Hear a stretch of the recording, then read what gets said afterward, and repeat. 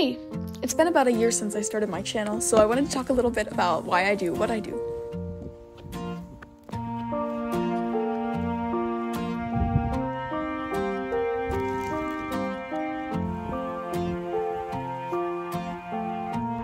As some of you know, I'm not exactly the most high budget production, and that really hasn't changed in the past year. But what has changed is my experience. I have 92 videos out now, and honestly, when I take the time, I still really love making them just as much as I did the first one. And that's what matters to me, you know?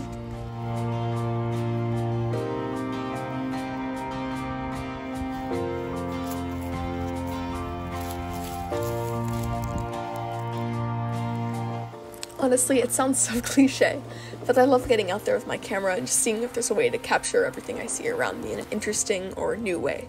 Sometimes I'll just be like laying down or even at the gym and it'll just hit me like, ooh, I need to capture like this exact angle and this exact feeling for my vlog. And then when you edit it all together, yes, that's really fun because you have to weave each shot in a way that it not only makes sense, but it flows in a way that really sparkles. You have to make each clip sing. You have to make it like make music, like the way writing a sentence structure has a music. It's kind of hard to explain, but that's the best way I can say it.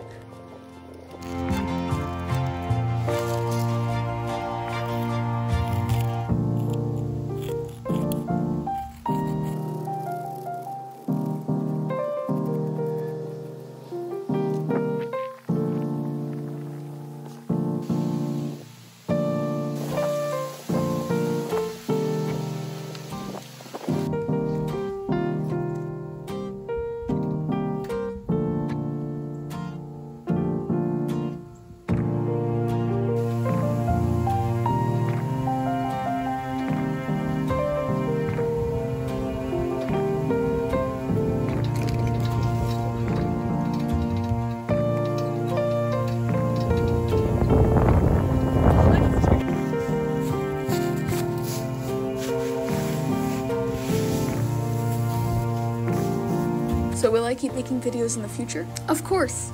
It's a little harder now that I'm in college, but even if I don't always hit the once a week deadline, I'm gonna keep making them.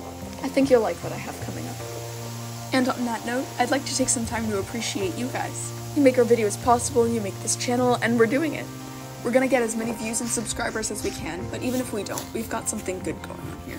So thank you for making it possible.